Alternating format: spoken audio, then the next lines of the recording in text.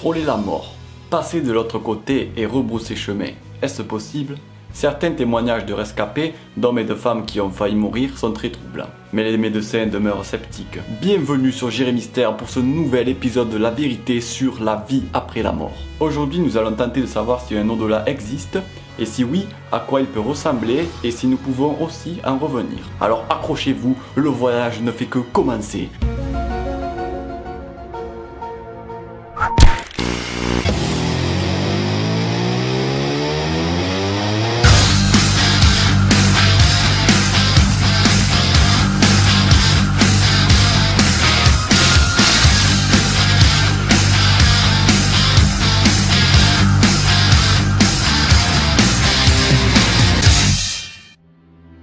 Dans les religions monothéistes, le croyant est placé soit au paradis, où il est récompensé au ciel de ses bonnes actions terrestres, soit en enfer, où il est définitivement séparé de Dieu selon les actions qu'il a menées durant sa vie. Le salut de l'âme qui survit au corps doit donc être effectué dans le respect de la foi. Dans le judaïsme, les âmes vont au Olam Abba, le monde à venir, soit dans l'enfer de la Géhenne, soit dans le paradis, Gan Eden, ou bien dans le Sheol, un puits indifférencié dans d'autres traditions. Le gain d'une vie éternelle est le principe même du christianisme dans la foi en Jésus-Christ, reconnu comme Sauveur et Dieu lui-même, lui-même ayant ressuscité trois jours après sa mort. Enfin, dans l'islam, les musulmans ne vont pas après leur mort dans un paradis spirituel comme dans le judaïsme ou dans le christianisme, mais dans un paradis physique.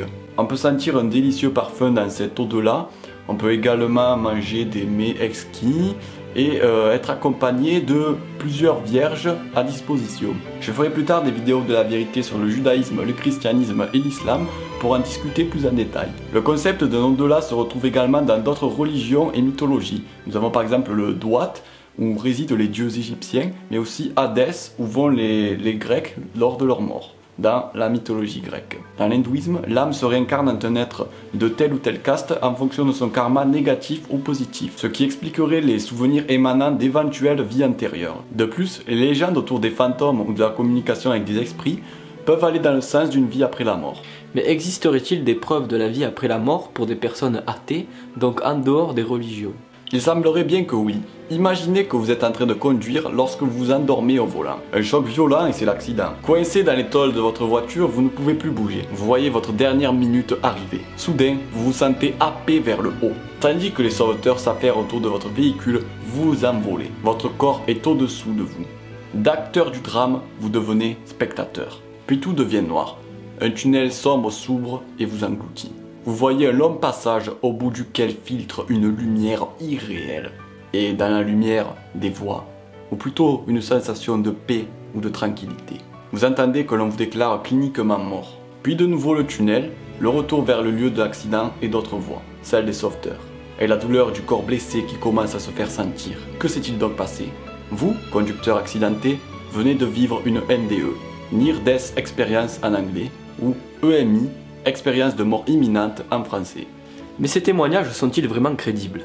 En 2001, une théorie scientifique a été publiée dans la revue de Lancet. La conscience serait une sorte de poste récepteur, comme une radio, recevant des informations visuelles, sonores et olfactives, émises par l'environnement immédiat et parfois éloigné. Ce poste récepteur pourrait fonctionner lorsqu'on est dans le coma, ou même quand le cerveau est inactif. La conscience se contenterait alors des ondes d'informations magnétiques venues de l'extérieur. Penses-tu vraiment et réellement et sérieusement et avec tout euh, le recul que tu prends par rapport à ta vie passée, par rapport à ta femme qui t'a trompé avec le voisin, penses-tu vraiment qu'il est possible de faire une incursion dans l'au-delà et de revenir comme si de rien n'était? C'est une question aussi vieille que l'humanité, mais qui curieusement redevient d'actualité avec euh, le développement des techniques médicales de réanimation. Ayant échappé de justesse à la mort après un grave accident, il arrive que des personnes décrivent un voyage qu'elles auraient effectué dans l'au-delà, où elles auraient même par exemple rencontré des personnes proches décédées. Elles assisteraient alors à une sortie de leur corps, une OBE, Out of Body Experience en anglais, c'est-à-dire un phénomène de décorporation. 14% de la population aurait ainsi déjà vécu un voyage astral sans que ce soit nécessairement lié à une expérience de mort imminente. Par exemple, on en trouve des références dans la Grèce antique. Plus tard que nous raconte l'histoire d'Aris II qui a eu lieu en l'an 79. Un jour, cet homme se cogna la tête contre un rocher et tomba dans le coma. Au cours de son coma, il se percevait lui-même en dehors de son corps et discutait avec un guide spirituel. Aris II aurait également vu une autre dimension habitée par d'autres consciences spirituelles. À un moment, il sentit une force l'aspirant vers l'intérieur de son corps et se réveilla au moment où il allait être enterré sur le plan physique. Les prêtres égyptiens, eux, pensaient que le cas pouvait s'échapper du corps à volonté. On en retrouve des témoignages dans le livre des morts égyptiens. Les récits de ce genre ont été popularisés par l'ouvrage de Raymond Moody, La vie après la vie, et sont l'objet depuis une quarantaine d'années de débats plus qu'animés. Mais ces rescapés ne sont probablement que des fabulateurs, à l'imagination contaminée par la presse populaire, avide de récits comme cela. Je ne crois pas que les patients décriraient de telles expériences s'ils n'avaient pas cette source d'inspiration. La science nous prouve elle-même parfois que ce ne sont que des hallucinations. Je me suis battu face à l'obscurantisme de Eric Zemmour sur le bateau télé. Hein, je suis scientifique. Hein, euh, Daniel Conversano me fait pas peur. Hein Enfin bref, la question est surtout de savoir qu'est-ce qui peut provoquer ces perceptions un peu hallucinatoires.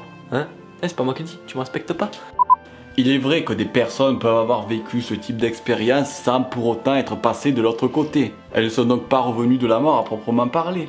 Donc si je comprends bien, tu es en train de me dire que les expériences de mort imminente n'ont rien à voir avec l'au-delà. C'est possible. Mais dans ce cas, dans ce cas, dans ce cas, écoute-moi. Tu ne respectes pas? Regarde la caméra, c'est déjà De quoi s'agirait-il Qu'est-ce que ça peut bien être? On est sur le mystère, on n'est pas sur le mystère. On peut déjà se demander si les victimes de ces expériences sont effectivement sorties de leur corps, ce qui impliquerait qu'une partie autonome de l'individu, assimilable à l'âme, pourrait se détacher du corps physique. Les survivants en sont bien sûr convaincus, mais rien ne garantit leur objectivité. Pour une fois, je vais abonder dans ton sens. La plupart des psychologues et des physiologues pensent qu'ils ont plutôt vécu des sortes de transes accompagnées d'hallucinations. En effet, suite à un choc psychologique intense, le cerveau libérerait des endorphines, des sortes de drogues à effet antalgique produites par l'organisme. Celles-ci entraîneraient le sujet dans un voyage proche de ce que l'on pourrait expérimenter sous l'effet de certaines drogues illicites, ce qui expliquerait la sensation de paix qui envahit parfois les survivants comme si elle les transfigurait. Après une telle expérience, les survivants n'auraient plus peur de la mort et parfois même regretteraient d'en être revenus. Finalement, une expérience de mort imminente correspondrait donc moins à un aperçu sur l'au-delà qu'à la façon pour l'organisme humain, placé dans des circonstances extrêmes, d'y échapper. Dans tous les cas, les chiffres sont très clairs. Le docteur Jean-Pierre Jourdan, directeur de la recherche dans la plus grande association scientifique française dans ce domaine, déclare qu'il y aurait en France 1 800 000 personnes ayant déjà vécu une expérience de mort imminente et 15 millions aux États-Unis. De 15 à 30% d'individus vivraient une expérience de mort imminente lors d'une situation à risque vital. Statistiquement, les plus de 60 ans, les femmes et des enfants ont plus de chances d'en vivre une. On nomme ces personnes les expérienceurs. On espère en tout cas en savoir plus d'ici quelques années. Si vous voulez approfondir le sujet, vous pouvez lire Preuve du paradis, le voyage de neurochirurgien à la vie après la mort par Eben Alexander, dans lequel il décrit sa propre expérience. Voilà, c'est tout pour aujourd'hui. N'hésitez pas à débattre de ce sujet dans les commentaires. Faites-nous partager votre avis sur la question et n'hésitez pas à vous abonner à la chaîne pour visionner d'autres vidéos dans le même genre. A bientôt sur Jérémy Mystère et bonne année